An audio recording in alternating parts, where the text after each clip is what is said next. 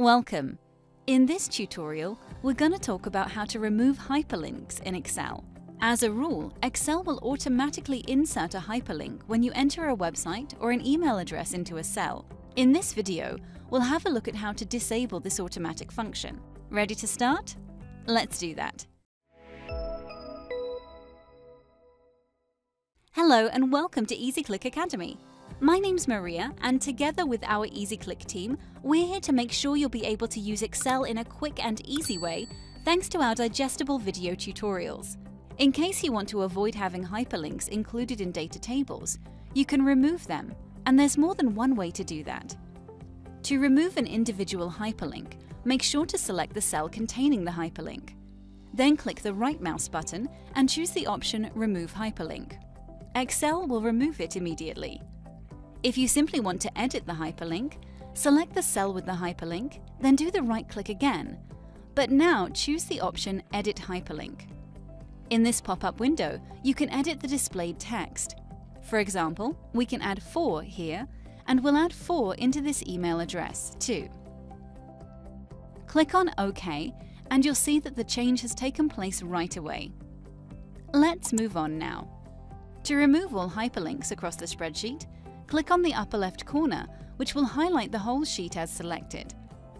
Then carry on as we did previously. Right-click, select Remove Hyperlinks, and Excel will remove all hyperlinks in the spreadsheet. But we're still not done here. Usually, if you enter a web link or an email address into a cell, Excel automatically inserts the hyperlink. And here comes the good news. This automatic hyperlinking can be disabled. Together, we'll go through how to do it. Go to File in the top left corner of the screen. Then click on Options. Find and select Proofing and click on Autocorrect options.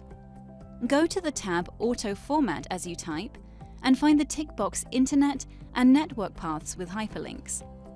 Unselect this option and Excel will disable the automatic inserting of hyperlinks in tables.